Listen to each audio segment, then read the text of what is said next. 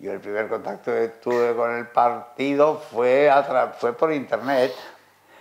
Vamos a ver, yo llamé a Sabater por teléfono y le dije que, me quería unir. Entonces Sabater no tenía ni idea de cómo se unía uno a un partido.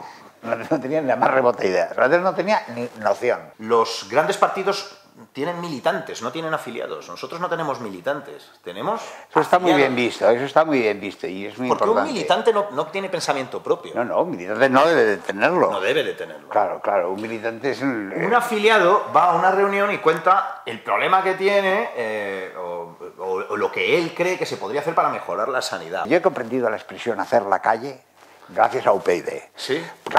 Porque es que me he pasado, me he hecho la calle, es que literalmente me, he pasado, me he pasado aquellos dos meses que pasamos antes de las primeras elecciones generales, es que los he pasado en la calle. Y todavía, todavía seguimos en la calle. Claro, es que el otro día estaba mirando el libro de mi hijo la, y ponía eh, la edad media, la edad media en España, ¿vale? Un tema de tres páginas o cuatro páginas. Siguiente tema, la edad media en la Comunidad de Madrid. Con las mismas páginas. ¿Entiendes? digo, sí, sí, bueno, eh, el Imperio Romano en la Comunidad de Madrid. Y las calzadas de Fuentibre y Fonseca fueron construidas por Trajano. Digo, pero, pero a ver, ¿estamos locos o qué? Pero yo a mí lo que me tocó, la parte que a mí me tocó, francamente, que fue la, la Plaza de la Ópera y el Parque del Retiro, subido en las tarimas. Claro con Sabater y con Rosa ah, y con... Ah, bueno. Ah, entonces te has relacionado con... Me he relacionado, me Yo me he tenido que ir a hacer un mitin a Valdemoro.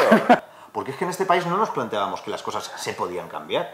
O sea, es como que hay, hay una corriente así un poquito en el subconsciente colectivo de que las cosas no se pueden cambiar, de que eso está establecido y así está, y hay que dejarlo así, porque no se puede. Entonces, que venga alguien y te plantee que claro que se puede cambiar, claro que se puede cambiar. Hay aquí, aquí eso que se llama la ira del español sentado, la ira del español. Eso, eso, sí, ahí en el sofá, yo aquí. Estoy aquí, aquí, yo te digo que la esto es una mierda. Y no se hace nada.